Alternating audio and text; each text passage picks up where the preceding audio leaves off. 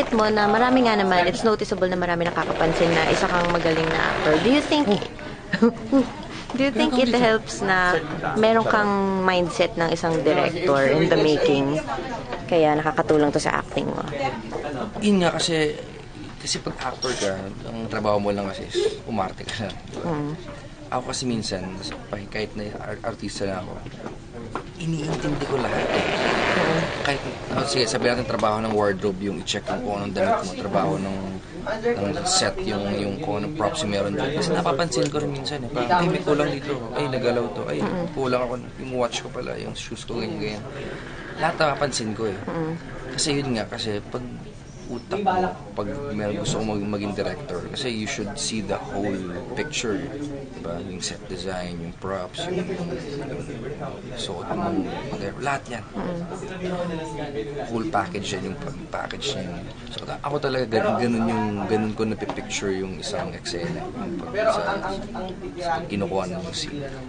So nakakatulong din talaga siya. And as an actor talaga, mas nakakatulong. Mas al- actually mas makakatulong. Mas maganda maging director kapag galing ka artista kasi at least galing ka na dun eh. So pag kunya nagdi-direct ka na, nag-blocking ka ng actors or or sabi mo, hindi ganito gusto kong ganyan ganyan. Alam mo na mas mas okay kasi napagdaanan mo na yung ano nila. Mas may feel, mas maging sensitive ka rin sa mga actors. Parang kung di niya kaya siguro umiyak ngayon, parang ah kasi siguro anong oras na yun siguro. So magiging sensitive ka rin kasi galing ka dun. So, Did you originally plan on being in showbiz, whether as a director or or as an actor? Actually, uh, yeah, dream ko din naman before eh. Pero kasi yung high school ako, uh, I've been doing theater plays. And then lumipat ako sa UP nga, I'm doing theater din. Gusto ko rin naman talaga mag-act. Gusto ko mag-act. Eh, yun nga, biglang na- naswerte ako na napasok ako sa GMA. Nagkaroon na ako ng shows. Actually, nag-quit na ako sa theater kasi wala nang oras. Eh. So, TV na lang. Kasi okay naman, kumikita naman ako dito. So, dito na ako, di ba? Pero nga, I miss doing ano rin theater. And um, yung pagiging director naman, lately ko lang na, na ano yan, na, na, na, naisip yan. Nung nandun ako sa UP. Kasi siya, yung, sa UP kasi minsan kinakuha ko sa sa film or sa masscom na mag-act para sa nila, sa thesis nila, o sa project nila, mga ganyan, ganyan. So parang sabi ko, parang okay to. ah. Okay to. So sabi ko, ah, gusto ko maging director. Tsaka ako kasi ano eh, nanonood ako ng mga films talaga, ng mga great directors talaga. Kuya Stanley Kubrick, Ridley Scott, Christopher Nolan, sila. Quentin Tarantino, mga ganyan. Talagang pinapanood ko lahat ng films sila eh.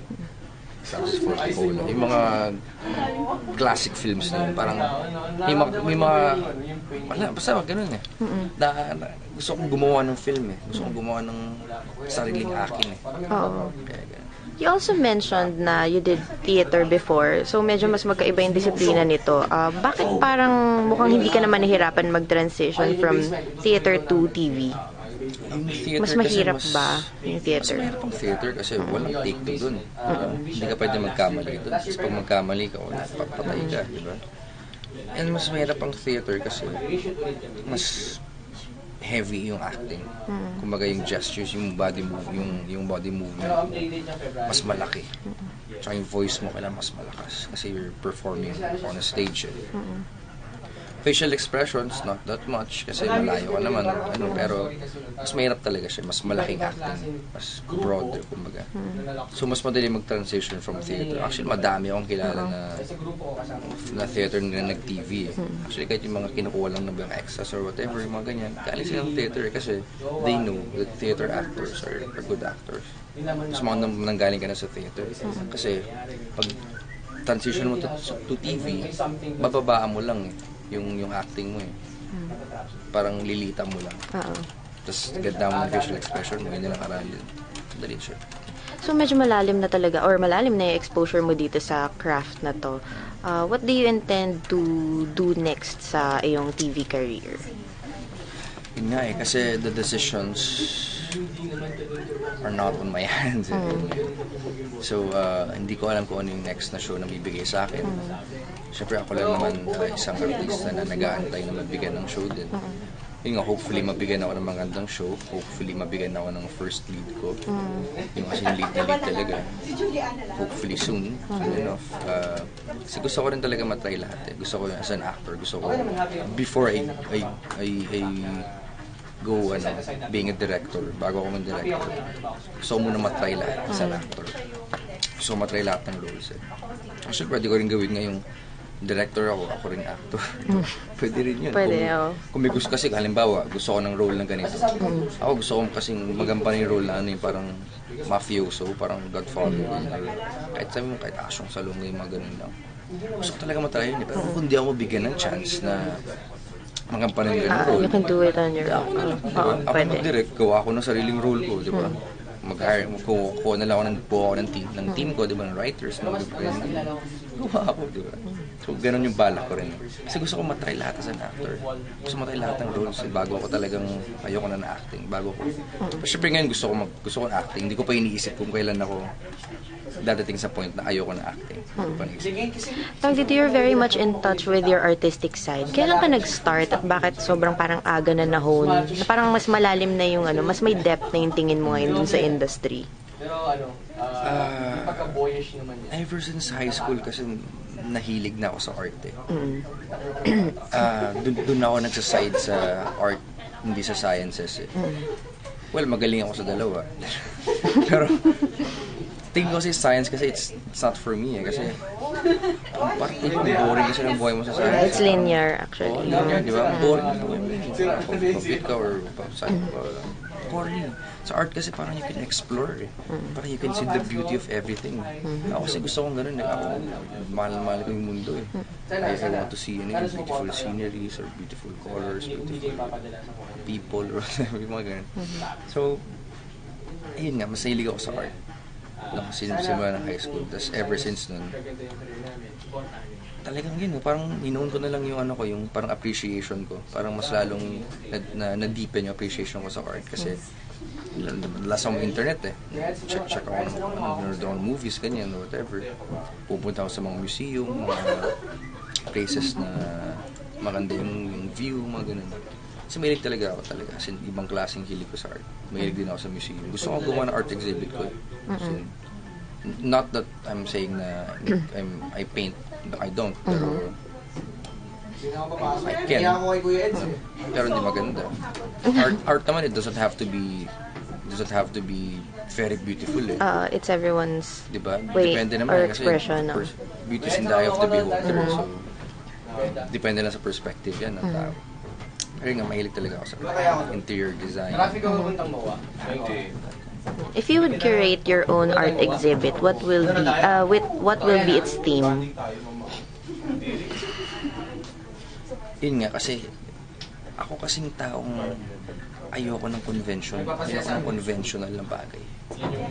Gusto ko, gusto ko yung tao mag-ano. Well, lahat naman artists, they, they, they, they deviate from from the from the convention. So, uh, they're trying to deviate. Kasi pangit naman yung doon sa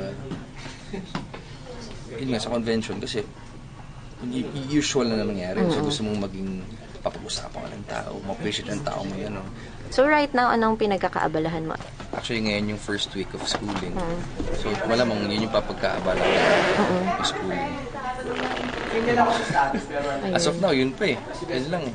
Do you do any exercises or Yeah, yeah, other than ano, that other than itong acting para mahon pa yung craft mo or para wag kang kumbaga sabi nila mga lawang? Ah, yun nga, aside from acting, kasi pag actor ka, kailangan alam mo lahat eh. Kumbaga, kahit alam mo mag-bike, alam mo mag-motor, alam mo mag-drive ng kotse, alam mo mag, ano, mag, yung mga ganyang bagay. Kasi pag may eksena, nakakailangan mo halimbawa, mag, kung mag-drive ka ng kotse, tapos hindi ka marunong mag-drive, di ba lamang, di ba, pangit. Sayang ang role, Diba? Pero, yun nga, ginagawa ko ngayon, parang tinatry ko lahat. Eh. Ah, pang horseback riding, yung mga ganyan, fencing, or, or harness, or, or mixed martial arts, or mga ganun. Tapos mga sports din. Ah, I do sports, ganyan, badminton, basketball. Pero mostly, mga hindi ko pa natatry. Like yun, fencing. So, mag-aaral ako ng fencing. Mixed martial arts din, or knees. Ah, yung mga ganyang bagay. Kasi makakatulong din yun sa pagiging artista. Tama. Pero how do you find time for this? Gayong busy ka with school and at the same time, meron ka, lumalabas ka pa rin on TV. Hindi, ang ano ko naman dyan, pag gusto mo, may paraan talaga eh. Mm. Kasi pag tatamad ka, kasi ako minsan tatamad din ako eh, parang ah, ayoko gusto sa bahay na ako, ganun. Pero yung time na yun, kasi inisip ko na lang, kasi yan eh, may, may tattoo ako dito eh. Live fast, die young. Parang YOLO siya, YOLO. Oo. Kasi parang yun nga. I'm- I need to live fast every day. Parang live life to the fullest every day. Kasi, mamaya, bigla mamatay na lang ako. Hindi ko man natatry yung ganitong bagay, di ba?